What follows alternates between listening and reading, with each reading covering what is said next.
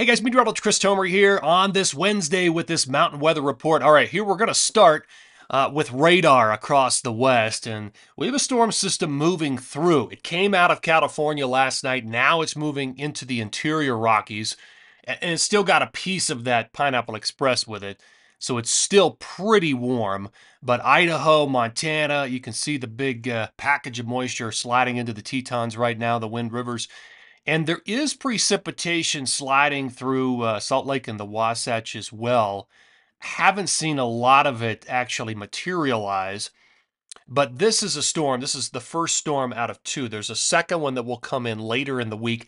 That one's going to be a notch colder, and I think we'll see better winds, better snow production with that second storm system. Let me zoom in. So here's the, the radar out of Jackson. Notice you've got uh, snow and then even a mix and even some rain depending on your elevation. I'll talk more about that rain snow line uh, coming up here in a second. And you can see in Salt Lake there's action as well. Not a lot of lift with this particular storm system. The orographics are weak so far coming out of Salt Lake and the uh, the Wasatch. Now back to the west, this is where the storm came from. You you have a pause in the action here today across California. The next storm will come in um, Thursday into Friday, and again, that looks to be just a little bit colder. Up in the northeast, a couple of streamers of snow. You're, that's really the northern periphery of what's going to be the ice storm, which will move into the, the Midwest, including a lot of big cities Chicago, Indy, Columbus, Pittsburgh, Baltimore, Washington, Philly, New York um, this afternoon, tonight, tomorrow morning. So it's going to be a mess out there. Okay, here's water vapor. So we're back to this low level moisture Oranges and reds, drier air.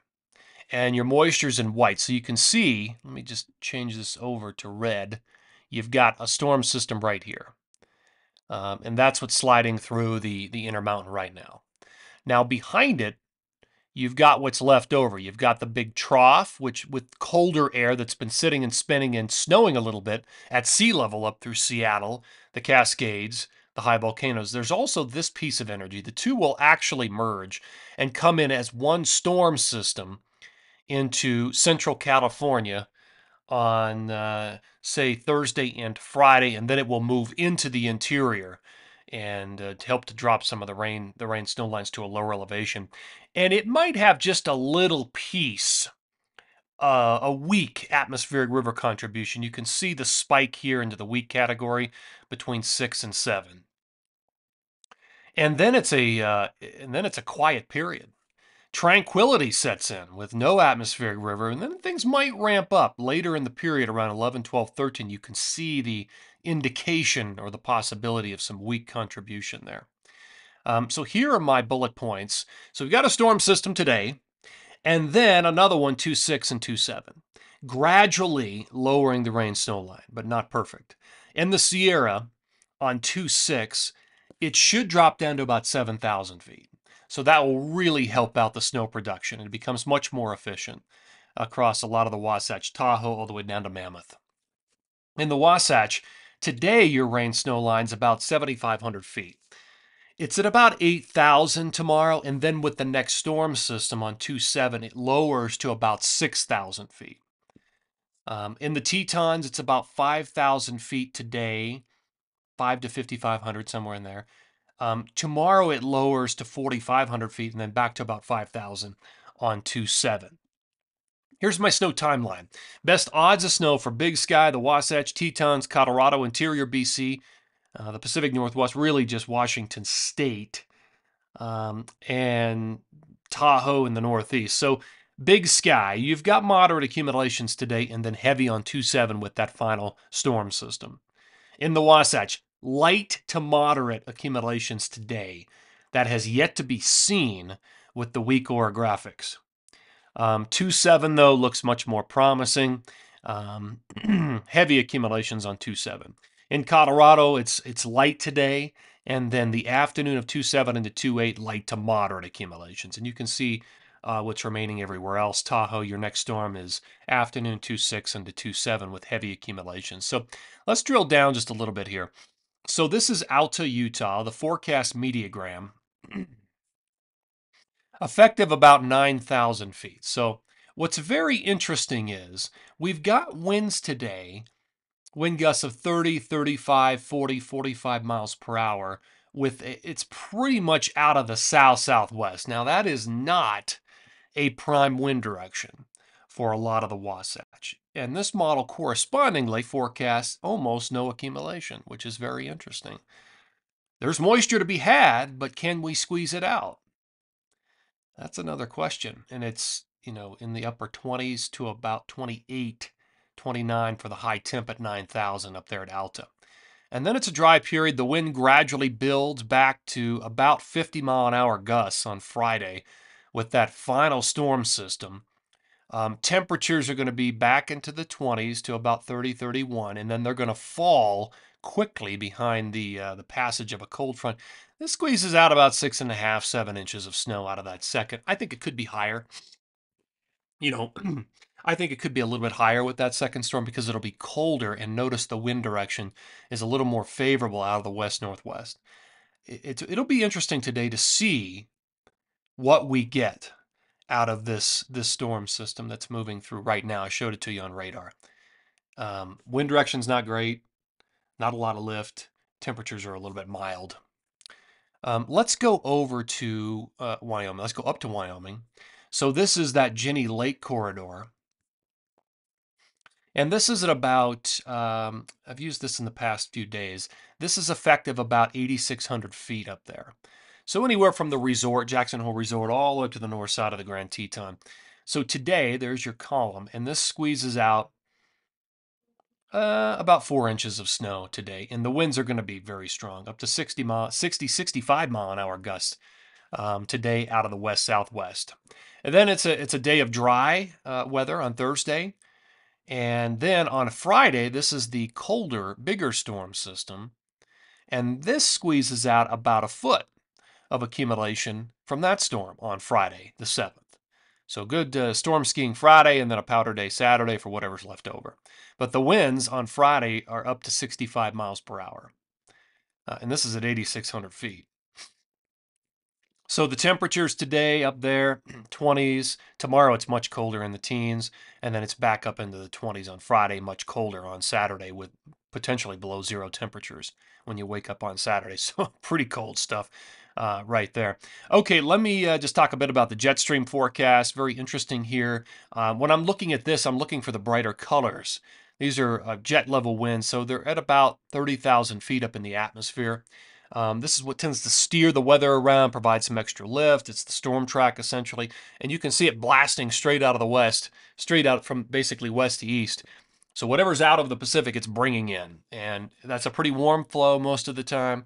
Um, so we'll start this at lunchtime today. Here's late today, and you can kind of see the, the storm system over the Great Lakes in the Midwest. It's a little bit of a weakness or dip in the jet right there. Now, out west, things just continue to rock and roll here. Um, okay, here we are, lunchtime on Thursday the 6th. You can kind of, here, here it comes. Now, here's late on the 6th. Here's early on the 7th. You see the, the trough or the dip in the jet. Here comes that storm system and then it begins to move into the interior. Here's late on Friday the 7th. Um, so this is that storm that will be a little bit colder, but certainly stronger with more wind energy across a lot of the Intermountain. Um, and that moves on by. Here's Saturday. Here's late Saturday. Um, and you look to the west, and, and it's still active, right? I mean, the jet stream's still pulling in energy. You can see the little weaknesses and the dips in the jet all the way through. Here's Sunday early. Another um, storm system right there. Here's Monday the 11th, or Monday the 10th, excuse me. Another storm system escorted in. Here's early Tuesday the 11th, another storm system escorted in. So it stays active um, all the way through, as it looks, mid February at this point. Okay, let's look at snow accumulation over time. We'll start this at about 11 o'clock today.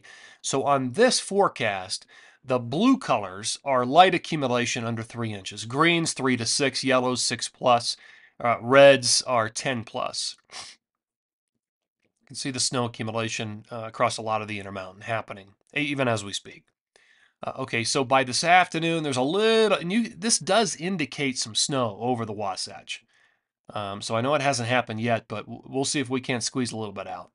And then there's a little bit that tries to drop down into the northern mountains of Colorado. So we'll see about that. And there's your east coaster. This is early Thursday morning, the ice event through the Ohio Valley up to Michigan, running through Pennsylvania, down to the big cities Washington, Baltimore, Philly. It'll be nasty. And then that moves up into the northeast with snow accumulation for Vermont, New Hampshire, and Maine. Back to the west. Here comes our final storm. Look at the Sierra getting some snow. Here it comes. It's building. Here we are, 11 a.m. on Friday the 7th. Good snow here through the Wasatch Tetons, Idaho, Montana. And it drops down into the central and northern mountains of Colorado as the storm slides. And that becomes another storm system for the Midwest with ice and snow accumulation. Pretty good snow right there, possible up into the northeast. That's early Sunday. And the little wave comes through Colorado on Sunday, drops down across the front range with colder air. Potentially another storm system for the uh, Ohio Valley right there by the time we get into Monday. So you get the idea. Whatever's happening off to the west is getting moved to the east, and it's becoming a, it's, it's turning into a storm system. Storm systems. Uh, so here is early Tuesday, the 11th. Another storm comes out of the Rockies, turns into potentially a mess for the Ohio Valley and the Mid Atlantic. Another storm system quickly comes out of California, runs through Colorado on Tuesday, the 11th. So that's pretty far out there. I mean, things remain active all the way into mid February. All right, here's my forecast all of today through the 9th in the Wasatch, 8 to 12 inches between today and the 9th. Most of that's going to come from the storm system on the 7th. In the Tetons, anywhere from 14 to 16 inches, split up between today and the final storm system later in the week. In Colorado, the accumulation is primarily in the central to northern mountains, anywhere you know, from four to 12 inches. Most of the, the, the big stuff's up there in the northern mountains. Everybody else, I-70 corridor is two to six inches less in the southern mountains. Now, in the Sierra, you've got snow today, and then, of course, another, not snow today, um, but you've got one more storm system coming, and I believe that is, let me check my timeline. Yeah, you're in between today. Today's the pause. Uh, afternoon 2 6 into 2 7. That's your next shot of heavy snow. And that's when I think you could pick up about 20 inches of accumulation around um, Tahoe above 7,000 and down, down to Mammoth as well. Pacific Northwest is very light. I've got nothing for Whistler and low numbers in Washington State, 10 to 20 through a lot of Oregon. In Idaho, Idaho, we still have about 10 inches to go through Sun Valley and Brundage, four up there in Schweitzer, northwest Montana, a lot of six and sevens, very light through interior BC. Up in the northeast, pretty good snow pattern here. Nice signal coming out of the northeast through the 9th. Uh, 10 to 14 inches in Vermont, New Hampshire, Maine, and also New York State. Uh, even Massachusetts could see seven or eight inches of accumulation. It's a rolling accumulation, so it doesn't all come at one time. Uh, but pretty good stuff right there. All right, back to the west. Uh, again, a storm system today, and then one more coming behind this through the ninth, and that second one, that second storm system looks to be stronger. Guys, thanks for tuning in here today. Always appreciate it. Take care and have a great day.